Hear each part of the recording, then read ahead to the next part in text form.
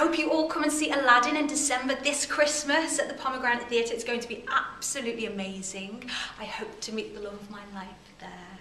And um, there's lots of funny people in the pantomime. There's lots of silly things happening, so I hope you enjoy it.